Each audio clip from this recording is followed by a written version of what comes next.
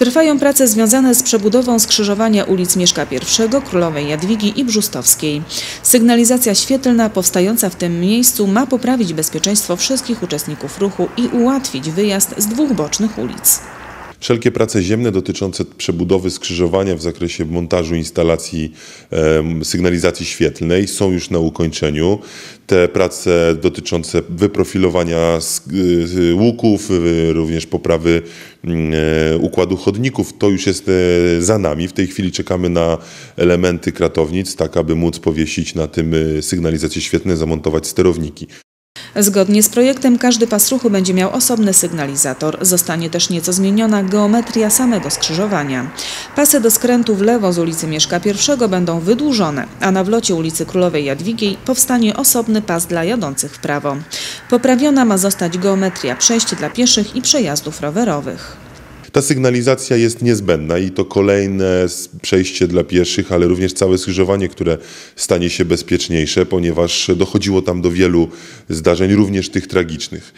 Niemniej jednak ja mam nadzieję, że to nie będzie wyłącznie przełożenie problemu o kilkaset metrów dalej i faktycznie ta sygnalizacja świetlna również będzie oddziaływać na mieszkańców, na tych podróżujących, jeżdżących ulicą Mieszka I w taki sposób, że na dalszym odcinku również zdejmą nogę z gazu. Przebudowa skrzyżowania Mieszka I Królowej Jadwigi i Brzustowskiej to kolejna inwestycja, która ma poprawić bezpieczeństwo na radomskich ulicach. Do tej pory udało się przebudować słynne skrzyżowanie Blacharzy, wybudować wzbudzane sygnalizacje świetlne na ulicach 11 listopada, Struga, Chrobrego, Beliny Prażmowskiego i Wierzbickiej.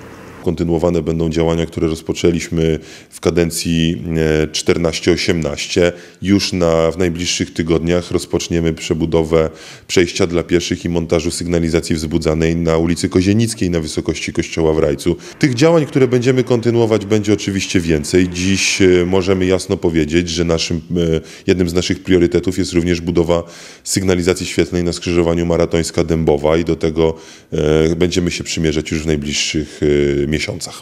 Przebudowane skrzyżowanie ulic Mieszka I Królowej Jadwigi i Brzustowskiej ma być gotowe do połowy grudnia. Koszt inwestycji to 1 300 tysięcy złotych.